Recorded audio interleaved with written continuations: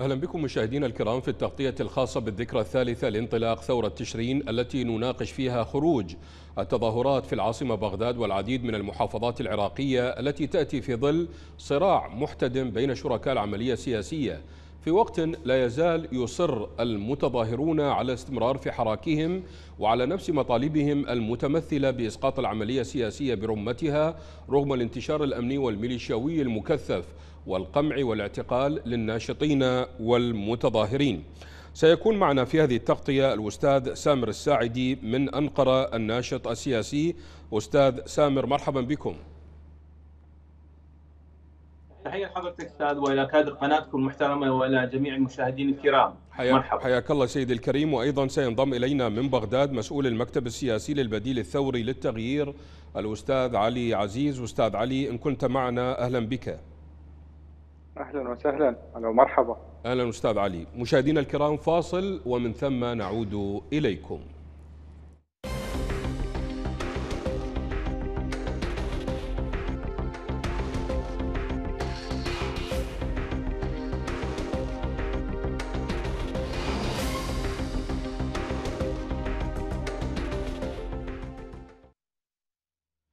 إذا مشاهدينا الكرام نناقش في هذه التغطية الذكرى الثالثة لانطلاق ثورة تشرين المباركة. أبدأ معكم أستاذ سامر الساعدي.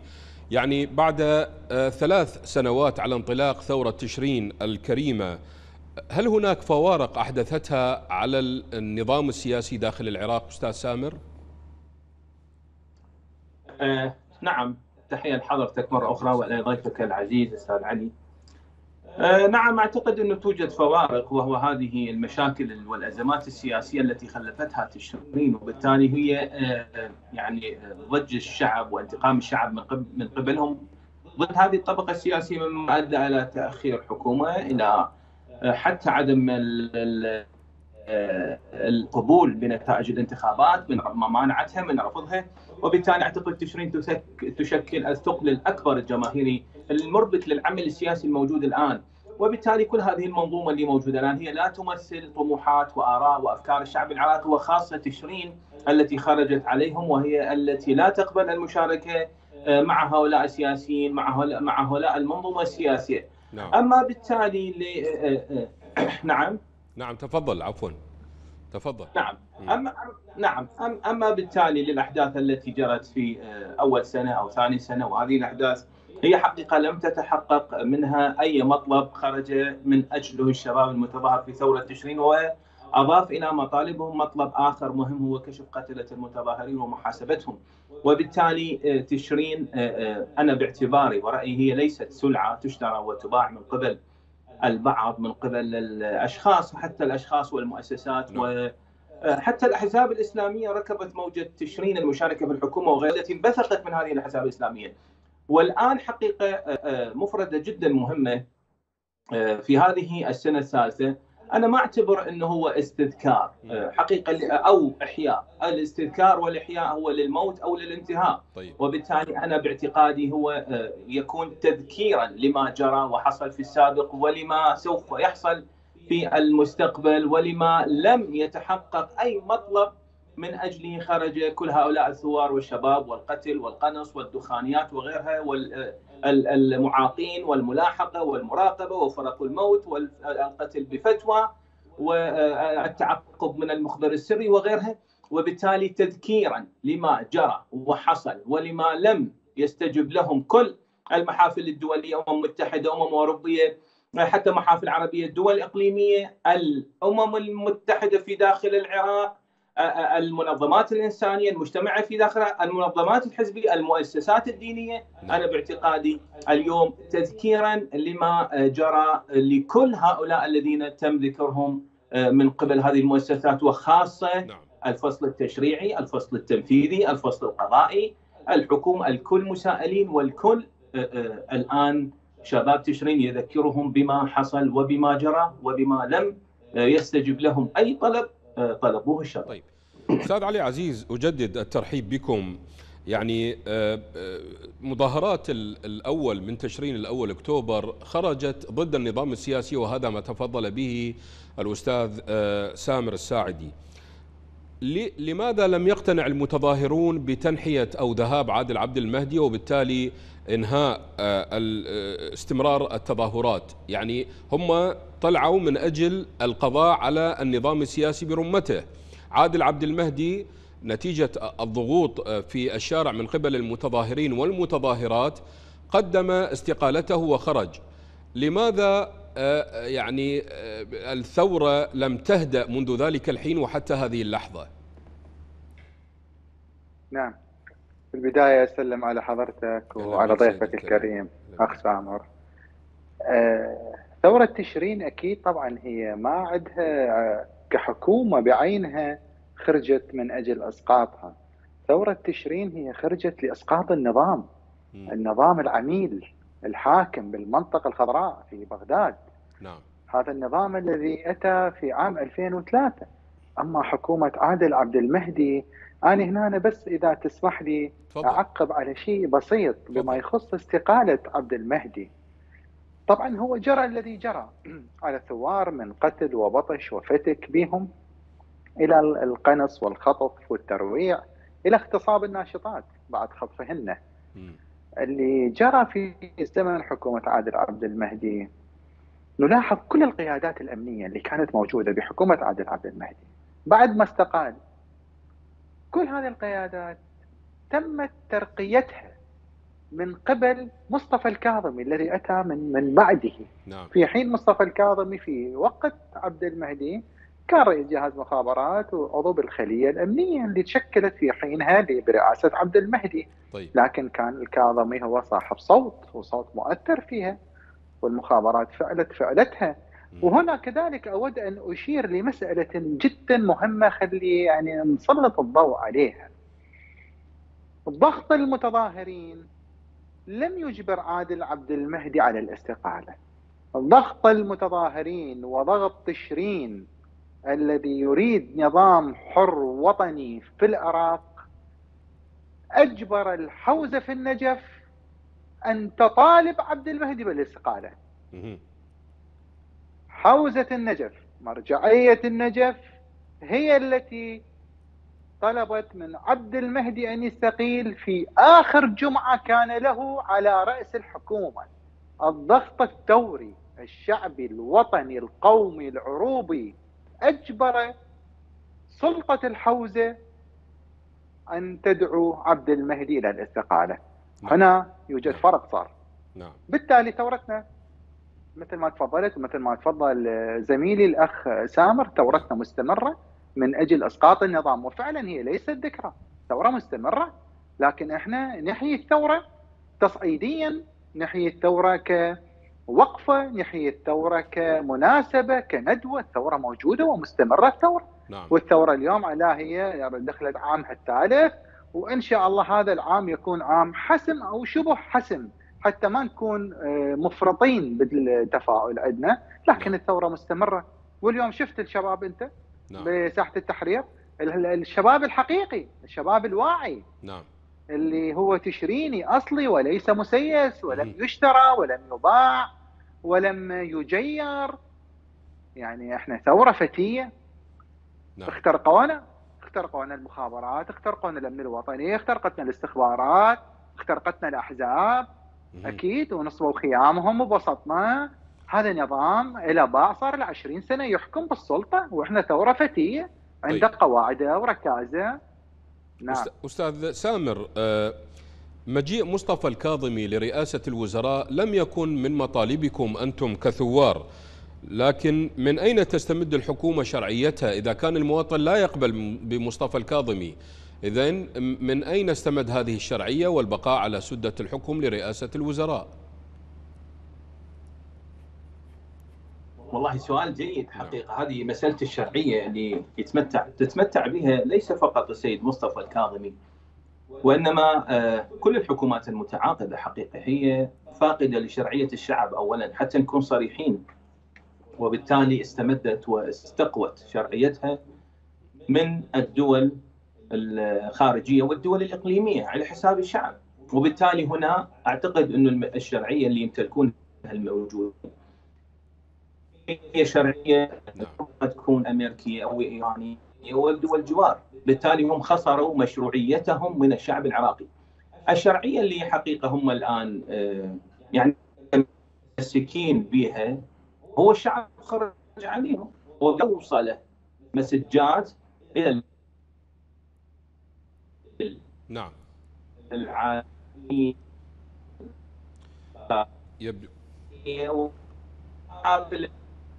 آه، يبدو أن الاتصال غير مؤمن بما فيه الكفاية مع الأستاذ سامر الساعدي.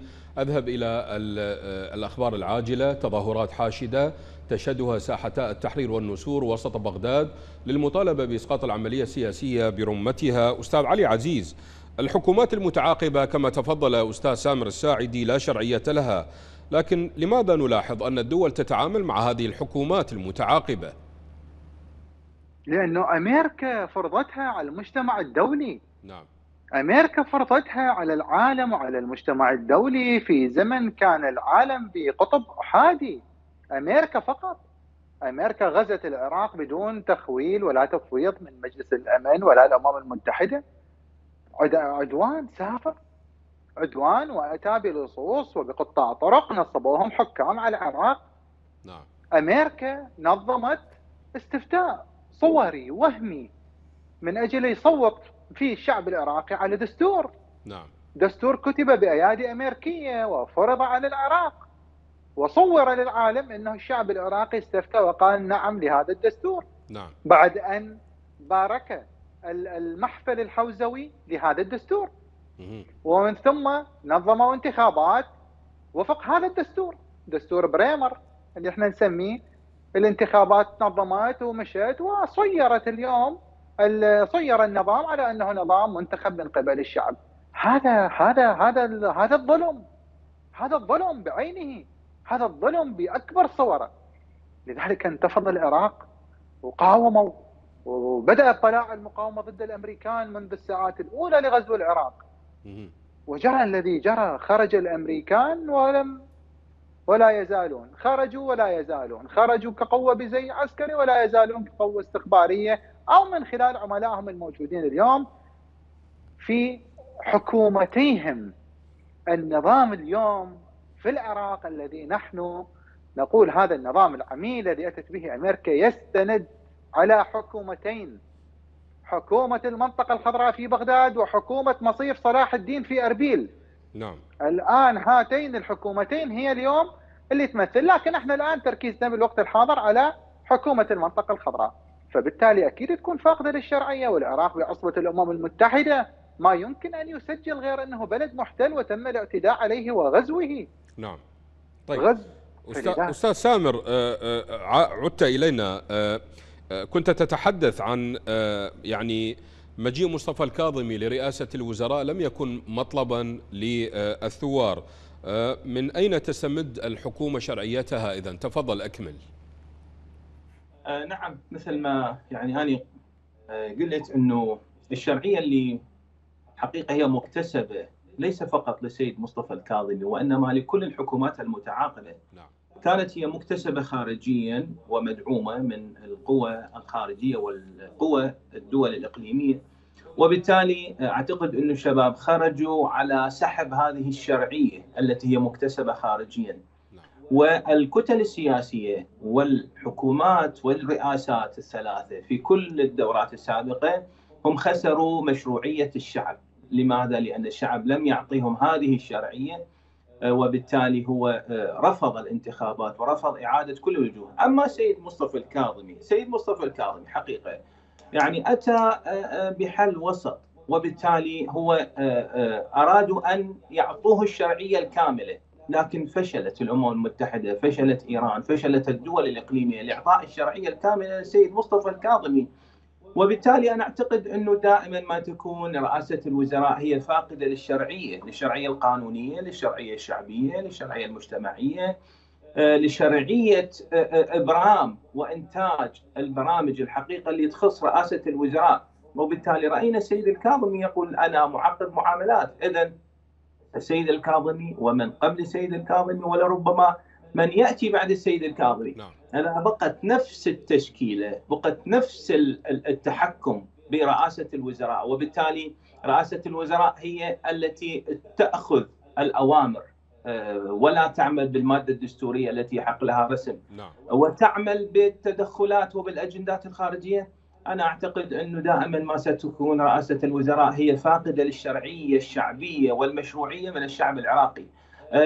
الأغلبية التي أو الديمقراطية التي يحكمها الأغلبية. وبالتالي نرى الأمم المتحدة البعثات الأوروبية المحافل الدولية وغيرها تريد إرساء وإبقاء الديمقراطية، تمام نحن مع الديمقراطية، نحن مع الانتخابات لكن لكن بشرط توفير بيئة آمنة انتخابية لإشراك كل الكتل الناشئة، الحركات الناشئة، المستقلين لأن تكون نقطة مهمة هنا أستاذي لو ولو أطلت عليك وعلى تفضل.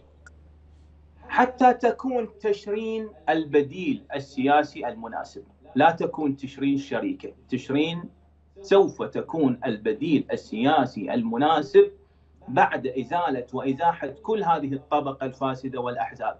لأن لو أرادوا إرساء الديمقراطية الأمم المتحدة أو غيرها أو غيرها وحتى نعم. في داخل العراق عليهم إيجاد بديل، البديل الآن ثوار مثقفين كفاءات لديهم شهادات عراقيين وطنيين.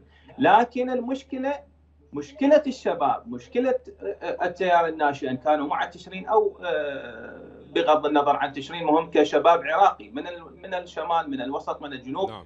هو يقول أنا لا أريد أن أشارك هؤلاء بسياستهم الحمقاء نقطة نص طيب. أستاذ علي عزيز على ذكر الثوار المثقفين اللي ذكرهم الأستاذ سامر الساعدي يعني أنت تعلم وواكبت تظاهرات ثورة تشرين لا يوجد هناك سؤال من متظاهر لآخر أنت إلى أين تنتمي إلى أي محافظة وإلى أي مذهب حيث تعدوا كل هذه الحواجز المذهبية والطائفية. اللي أحدثته ثورة تشرين على المستوى الاجتماعي هل اذابت الطائفية لا رجعة فيها أستاذ علي؟ نقدر نقول لأنه لمرحلة ما وصلنا لمرحلة متقدمة بالقضاء على الطائفية. نعم. تعرف موضوع الطائفية أن تقضي عليه بشكل جذري صعب بظل وجود نفس الوجوه، بظل وجود هذا النظام نفسه نعم. اللي طبعا هي قوات الغزو والاستعمار اللي إجانا عمل على أن يزرع الطائفية بالعراق من باب فرق تسد. لكن ثورة تشرين يعني قللت كثير من الطائفية بالعراق. يمكن اليوم ثورة تشرين ساهمت بالقضاء على الطائفية بأكثر من 75% حتى ما يعني نكون نكون دقيقين. لا أكو أكو أكو فد يعني مداخلة إذا تسمح لي. عملية التكامل الذي وصل إليه المتظاهرون في ثورة تشرين بأنه لا أحد يسأل أحد من أين أنت. هو دليل واضح وجلي وكشروق الشمس بأن من زرع الطائفية هي الأحزاب السياسية وليس الشعب العراقي. تفضل. أكيد معلوم. يعني هسه إحنا لو نرجع للطائفية يعني خلينا نتكلمها مثل ما هي. إحنا معروف علينا إنه مهنتنا نخلي النقاط على الحروف. نتكلم ما نخاف.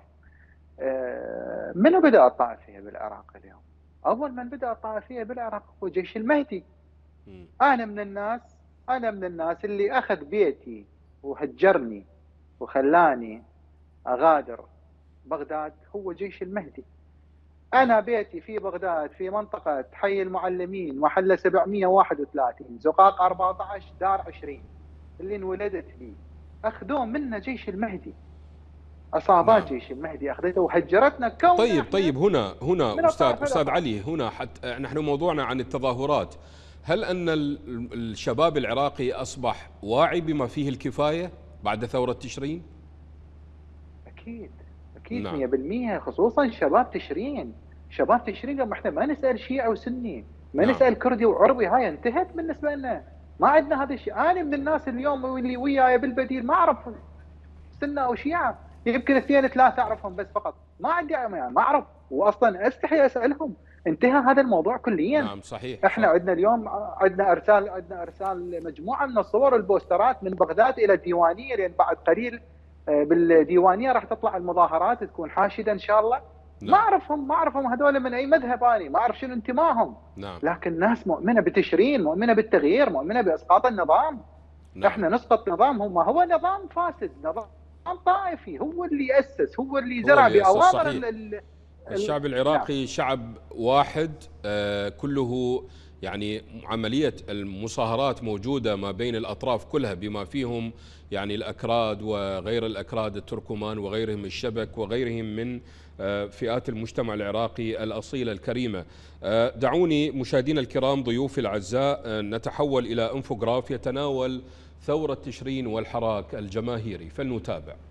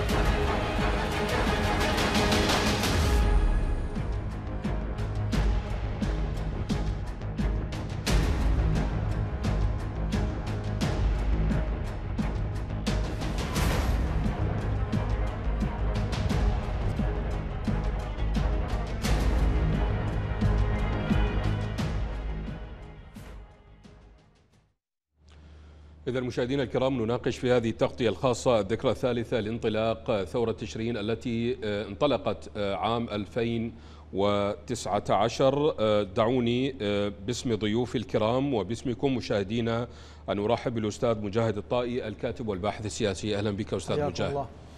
أستاذ مجاهد كنا نتحدث عن يعني ثورة تشرين وما لها من آثار عظيمة على المجتمع العراقي. ولكن ما الذي أحدثته ثورة تشرين على آه، المشهد السياسي وعلى المشهد الاجتماعي في العراق. تفضل. آه، نعم بسم الله الرحمن الرحيم. تحية لكم ولضيوفكم ومشاهديكم الكرام.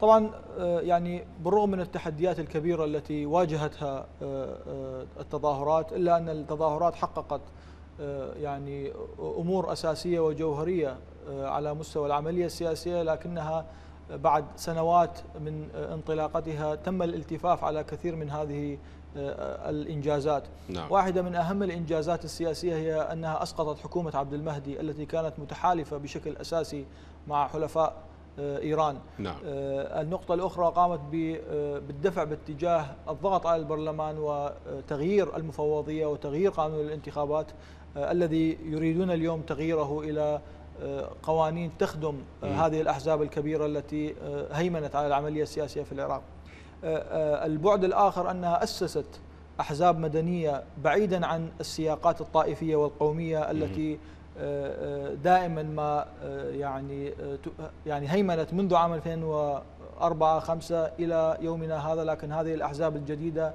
أحزاب برامجية تطرح أفكار تطرح حلول نعم. بعيدا عن السياق الطائفي ونظرية المؤامرة وصراع المذهبي الذي نعم. يعني آه، يعني أريد له أن يترسخ في العراق لتستمر هذه آه، الأحزاب في السلطة هذا على مستوى آه، السياسي نقطة أخرى أيضا على المستوى السياسي عفوا هو أدخلت العنصر الشعبي كفاعل وضاغط كمؤثر نعم. وفاعل على العملية السياسية نعم. يعني جميع الأسس التي كانت الأدوات التي كانت تضغط على الحكومة وتضغط على النظام السياسي للتغيير هي إما أحزاب أو ميليشيات أو قوى آه، يعني تستخدم الوسائل الغير المشروعة والمشروعة في الضغط لكن العامل الشعبي كان عامل شعبي ضعيف.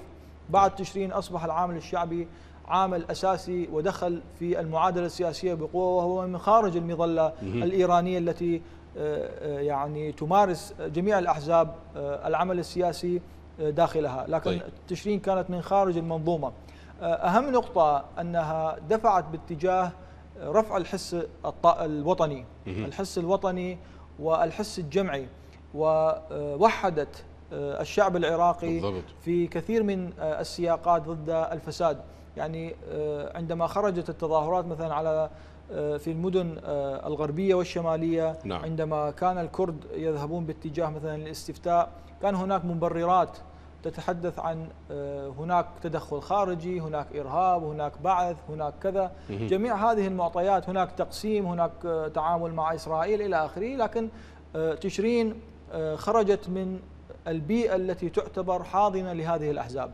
وبالتالي هم في الأساس قاموا بشيطنتها أيضا لكن نعم. لا يستطيعون شيطنتها والهجوم عليها كما حصل في المدن الغربية والشمالية نعم. وتحجيم يعني النفوذ الكردي على سبيل المثال لذلك هناك نوع من التغيير التغيير باتجاه رفع الحس الوطني هذا الحس الوطني الذي يحتاجه كل العراقيين من أجل وحدة الرأي العام نعم. باتجاه الضغط على الميليشيات الضغط على الفساد وأحزاب الفاسدين لذلك هي كان لديها كثير من الإنجازات وإن كانت متأخرة لكن حققت الكثير حتى على المستوى الاجتماعي لم يعد أي طرف سياسي أو اجتماعي يخرج من مشرحة النقد.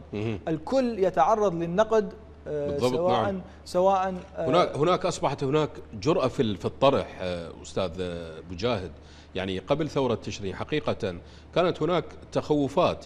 لكن الآن هناك جرأة في الطرح وانتقاد الحكومة وحتى انتقاد أشخاص الذين يعني في قبل قبل تشرين لم تكن هناك جرأة في انتقاد أشخاص معينين لهم سلطة بالتأكيد. ونفوذ. نعم. بالتأكيد. نعم. طيب أستاذ عفوا سأنتقل إلى الأستاذ سامر. أستاذ سامر بماذا تفسر استمرار ذات مشهد العنف والاعتقال ضد المتظاهرين والناشطين في بغداد وبقية المحافظات في الذكرى الثالثة للثورة؟ كما تعرفون وكما وصلتكم الأخبار هناك يعني التعامل مع المتظاهرين بواسطة الغازات المسيلة للدموع وهناك أيضا بعض التعديات التي حصلت على المتظاهرين. كيف تفسر, تفسر استمرار العنف ضد المحتجين؟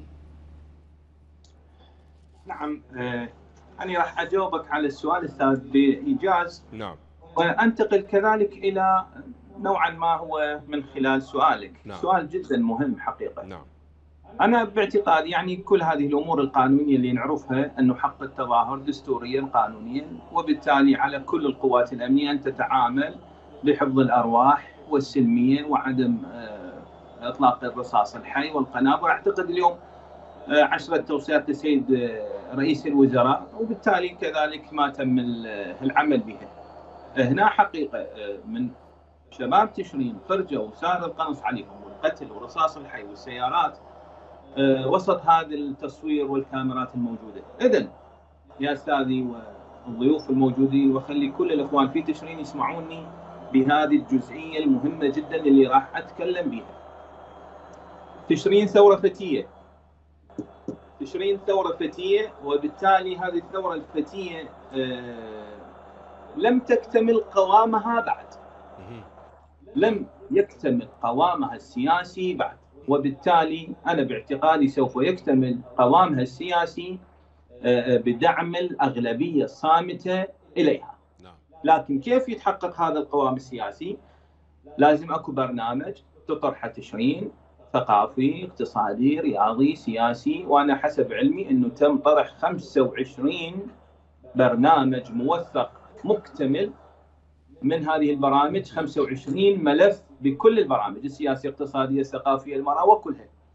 وبالتالي هنا سوف تكون تشرين من خلال هذا الطرح هي التي ترسم الخارطة السياسية القادمة وإنقاذ وطن. ما أعتقد أكو بعد وقت كثير. أكو وقت قصير جدا حتى تكتمل هذا البرنامج. بالتالي هنا الالتفاتة الاحتجاجات السلمية لم تغير نظام ولم تغير أي شيء. لربما هي مرة تتجاهل ومرة تقمع. نعم. وبالتالي أعيدها لربما المظاهرات السلمية مرة تتجاهل ومرة تقمع. وبالتالي المظاهرات السلمية لم تؤدي إلى تغيير فاعل. دون دون العمل السياسي الفاعل بالتأييد والإقناع للمجتمع العراقي والمجتمع الدولي. هنا راح تكون تشرين كفكرة بديلة سياسية. إحنا مثل ما قلنا بعدم المشاركة. وهذا الفاعل السياسي هو مؤيد من الاحتجاجات لكن إذا استمرارية هذه الاحتجاجات السلمية ومثل ما حضرتك قلت ودا نشوف والطلق والرصاص وبالتالي تقمع المظاهرات وتتجاهل وبالتالي احتمال في المرحلة المقبلة يصبحون خارجين عن القانون اللي يطلع يتظاهر نعم. يعني القانون بديهم وممكن أن يخرجون قوانين إنه التظاهر هو سبعه إرهاب مثلا طيب. ستة إرهاب نعم. خمسة إرهاب شو تسوي؟ شو تقول؟ قانون وما تقدر طيب. نعم. أستاذ علي أستاذ علي أثناء تظاهرات تشرين آه، سقط يعني آه، أكثر من ألف شهيد و30 ألف جريح. دائما الحكومة حكومة عادل عبد المهدي كانت تصف من يطلق النار على المتظاهرين بالطرف الثالث. الآن بعد ثلاث سنوات على تظاهرات ثورة تشرين لم آه، يكشف عن الطرف الثالث.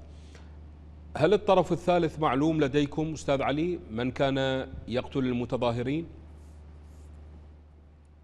هم كانوا يقتلون هم النظام. نعم. النظام وأحزاب النظام وعصاباتهم وميليشياتهم ومرتزقتهم. وبالإضافة إلى ميليشيات الأحزاب كانت ميليشيات المخابرات ميليشيات الاستخبارات ميليشيات الأمن الوطني جميعهم قتلونا. لا تصدق يوجد شخص في هذا النظام بمنصب أمني بدائرة أمنية عسكرية ميليشياوية لم يساهم بقتل ثوار تشرين. لأنه ثورة تشرين كانت هي المشروع الأخطر على وجودهم. هذه نعم. ثورة تنادي بإسقاط نظام. لا تنادي بتغيير وزير أو وكيل وزير أو مدير بلدية. إسقاط نظام. إسقاط نظام بعد ما أمريكا انطت خمسة آلاف قتيل وعبرت القارات والمحيطات حتى تثبت هذا النظام. بليلة وضحاها يجون شباب يسقطون هذا النظام. راح تتضافر كل الجهود.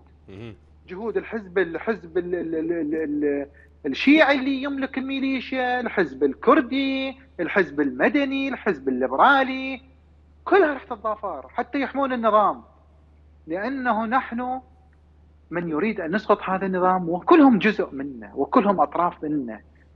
لا تصدق هذا يغازل وذاك يناغم أبدا لا تصدق هذا. فنشوف إحنا قبل كم يوم؟ قبل كم يوم أنا قريت خبر آه، صادر من جهة ما من الإطار التنسيقي. مفاد الخبر أنه مرشحهم لرئاسة الحكومة المقبلة السوداني أنه أقرب إلى التشرينيين من الإطاريين. تفضل. يعني ولا كأنه إحنا قبل سنتين لما طرحوا اسمه رفعنا هاشتاج مستقل وليس مستقيل حينما رمى باستقالته من حزب الدعوة على نعم. أساس لأنه كان الشعب يريد مستقل. اليوم نشوف هذه الأحزاب قامت هي هي تقلد تشرين نشوف الظاهرة الصدرية الموجودة. هذه الظاهرة الصدرية قامت تتقرب من تشرين وتتكلم باسم تشرين وتتبنى مطالب تشرين أي مطالب. نحن ليس نعم. لدينا مطالب نحن نعم. غير مطلبيين ولا أصلاحيين. نحن شعارنا وهدفنا إسقاط النظام. فلذلك إجابة على سؤالك فكل الجهود تتضافر لحماية هذا النظام من قبل كل الأحزاب كردية عربية شيعية سنية مهما تكن. نعم. أستاذ مجاهد أه، ألف شهيد ثلاثين ألف جريح عدد آه، يعني لا يستهان به في غضون أيام قليلة. لماذا لم تقم الحكومة بمحاسبة المسؤولين عن قتل المتظاهرين؟ هناك تواطؤ بين الحكومة وجهات أخرى ربما تكون من خارج الحدود؟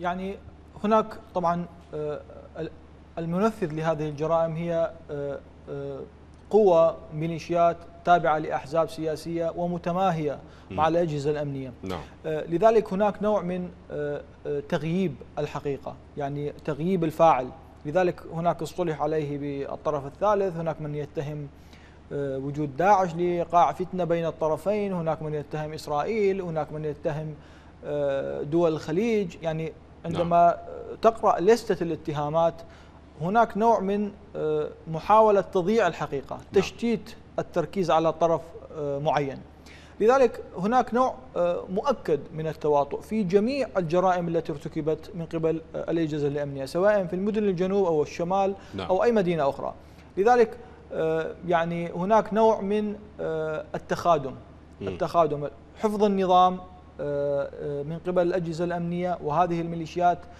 تحفظ السلطة هذه الأحزاب نعم. يعني هناك نوع من التوازن حتى أحد يعني أفراد من القوة تشرين الذي من الذين اختطفوا تحدث صراحة بأنه عندما اختطف بقي يوم أو يومين يعني محتجز لدى هذه الميليشيات وتعاملوا معه بشتى أنواع الانتهاكات ثم وجد نفسه بعد يومين ثلاثة لدى إحدى الأجهزة الأمنية نعم. يعني هناك نوع من التخادم هناك نوع من الأولوية يذهب إلى هذه الميليشيات لتحقق معه لتنتزع منه بعض المعلومات. والسلطة الرسمية والأجهزة الرسمية لا تتحمل المسؤولية ثم يحال هذا الطرف كمرحلة أخرى.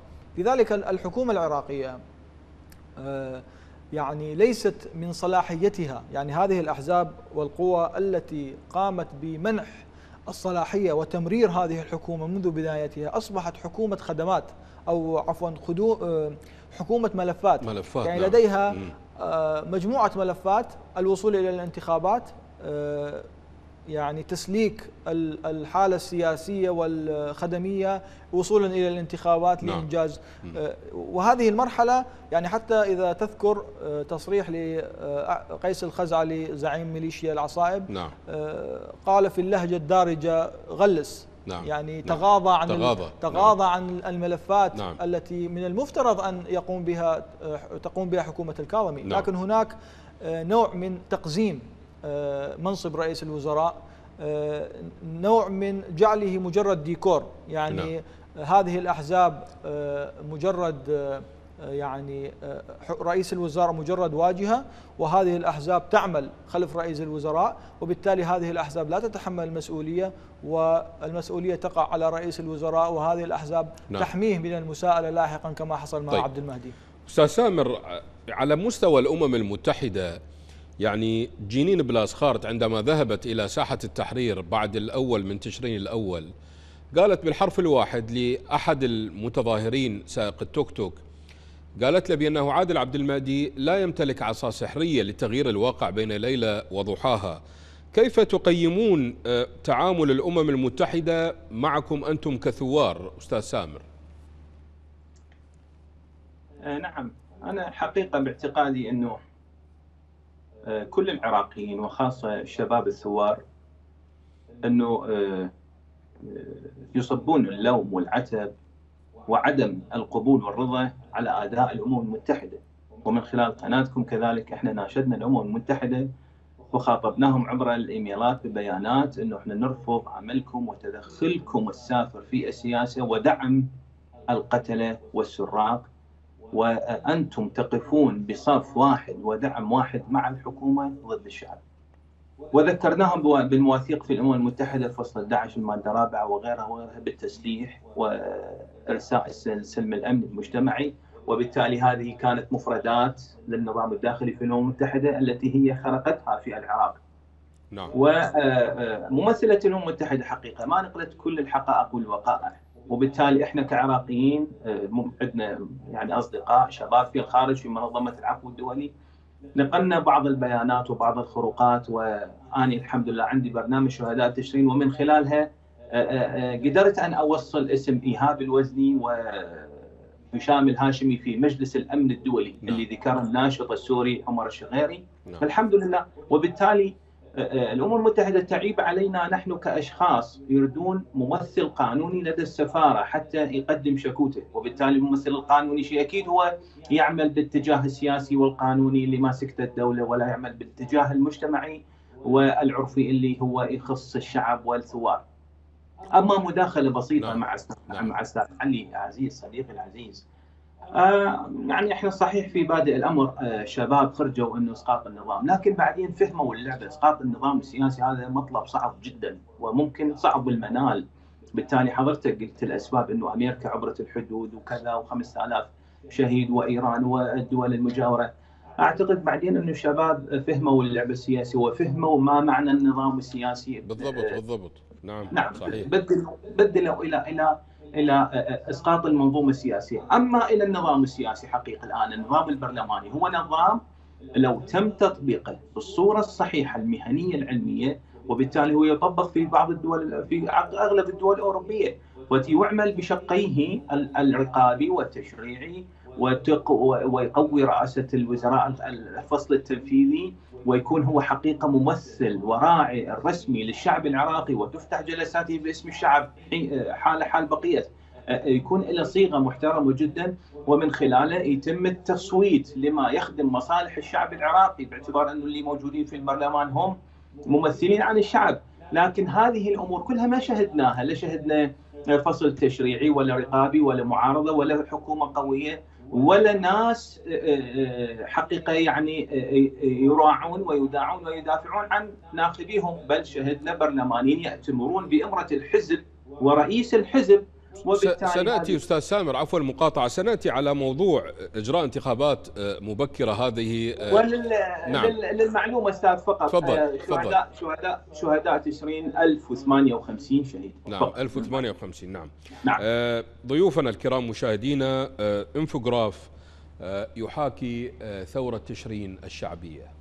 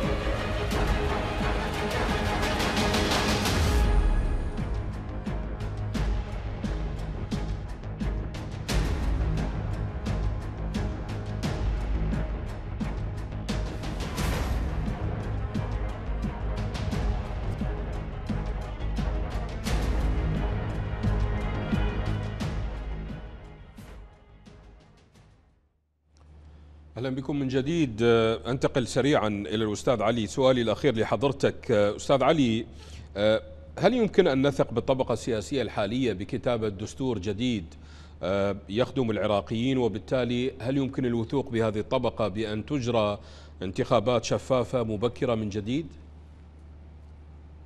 لا ابدا. نعم. ابدا. ليس بكتابة دستور نهائيا. نعم. لو لو تستورد لك صحيفة لا تقرأها لأن أخبارها كذب. لو تطبع الصحيفه هذا نظام يقوم على الكذب كله بالعراق. انت اليوم بالنسبة لل للدستور نتكلم عن الدستور. نعم. دستور جديد وطني.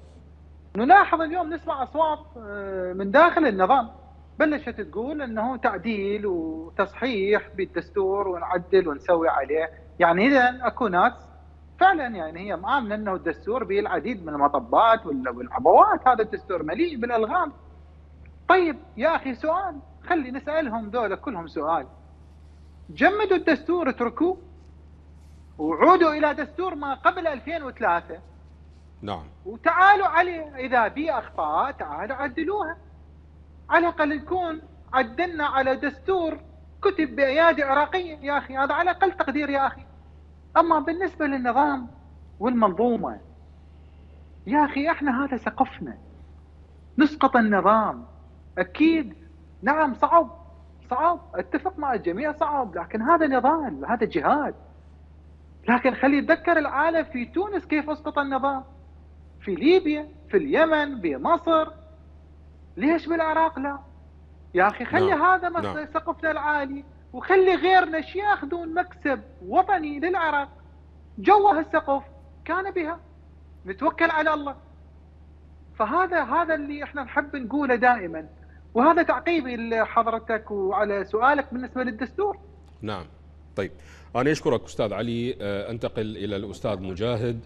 آه، حكومة الكاظمي يعني وعدت بتحقيق مطالب آه، الثوار وأيضا وعدت بتنفيذ هذه المطالب وأيضا عدت نفسها أنها أتت من رحم ثورة تشرين. لكن لماذا فشلت الحكومة في تحقيق الوعود؟ ما السبب في ذلك؟ يعني في الحقيقة الحكومة يعني أنها قالت يعني هي كانت خرجت من رحم تشرين هي لم تكن نعم. لم لم تخرج من رحم تشرين إنما كانت إحدى إفرازات تشرين. يعني لم تكن ممثلة لتشرين إنما كان السياق السياسي الذي تفاعل في تلك الفترة أنتج تلك الحكومة. ولم تكن ممثلة عن تشرين. لكن تبنت آه، المطالب التي رفعتها تشرين وقالت أنها ستقوم بتنفيذها. لكن في الحقيقة هذه آه، الحكومة حكومة ضعيفة غير مسنودة برلمانيا نعم. أتت عن طريق نفس السياق السابق نفس المعطيات بالتوافقية بالمحاصصة وبالتالي هي لا تستطيع أن تخرج عن السياق الذي رسم لها والمحددات المحددات التي وضعتها هذه القوى آه، لتنفيذ مهمات محددة. وكما ذكرنا قبل قليل آه، بأنها حكومة ملفات. ليست حكومة آه، حكومة كاملة الصلاحيات تستطيع القيام بتغييرات جوهرية. لكن في الحقيقة في تلك الفترة كان هناك ضغوط إقليمية ودولية يعني أجبرت هذه الحكومة على القيام بمهمة أساسية وهي إيقاف انحدار الدولة نحو الفشل. لأن كانت هناك آه، آه، أو آه، متحالفة مع القوى الميليشياوية والقوى الحليفة لإيران فحصل نوع من الاختلال التوازن ما بين النفوذ الأمريكي والإيراني وبالتالي نعم. كان كانت هذه الحكومة دورها إعادة التوازن وحصل ثم اغتيال سليماني ومهدي المهندس نعم. وخلق حالة من إعادة التوازن، الولايات المتحدة انكفأت قليلا ثم القوى الإقليمية الحليفة للولايات المتحدة دخلت آه، آه، للحصول على موطئ قدم من هذا النفوذ الأمريكي وبالتالي عاد التوازن. هذا التوازن هو آه، مهمة الحكومة الأساسية هو المحافظة عليه المحافظة على عدم عدم التغيير لا الذهاب نحو مطالب تشرين التي نعم. هي مطالب يعني مطالب تدعمها القوى أو تدعي دعمها من قبل الولايات المتحدة والقوى الغربية أو الذهاب نحو القوى الحليفة لإيران التي آه، يعني تقوم بالاحتيال على هذه المطالب نعم. لذلك هو لا يستطيع الميل لا نحو مطالب المتظاهرين ومحاسبة هؤلاء القتلة نعم. لأنه سيحصل خلل في آه، معادلة التوازن ولا يستطيع الذهاب والميل نحو قوة إيران طيب. نعم. فسيحصل أيضا خلل وبالتالي ستفقد الحكومة المهمة الأساسية التي نعم. رسمت لها طيب أستاذ سامر بدقيقة لو تفضلتم بذلك إذا ما كنت بين المتظاهرين الآن في بغداد أو في آه، الناصرية آه، ماذا ستقول للمتظاهرين لو كنت هناك؟ آه نعم حقيقة يعني أنا بالتالي أرفع الشعارات اللي آه، تخصني واللي تكون واعية ومثقفة نعم. اللي تبرز حجم وثقافة الموجودين. وأن أنادي آه، بكل الأمور السلمية التي لن تخرج عن هذه. وبالتالي آه، أفهم كل المجتمع الدولي والموجودين داخل وخارج العراق على انه إحنا مثقفين واعيين نفهم بالسياسة نفهم معنى طلباتنا التي ممكن أن تتحقق.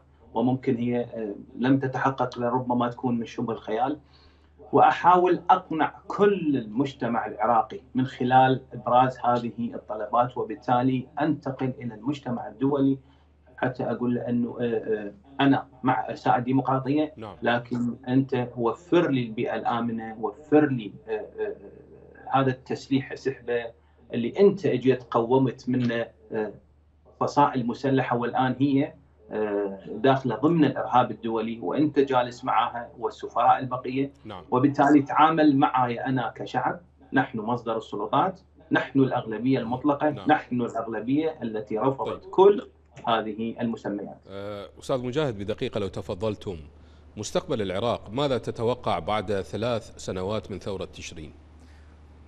طبعا المستقبل صعب توقعه جدا لأن هناك معطيات كثيرة مفتوحة على نعم. كافة المستويات سواء من استمرار النظام وإصلاحه أو استمرار انحدار وفشله خاصة آه، آه، وأن النظام آه، يعيش اليوم على أسعار النفط عندما يعني ستقل أسعار النفط أو ينهار هذا السوق نعم.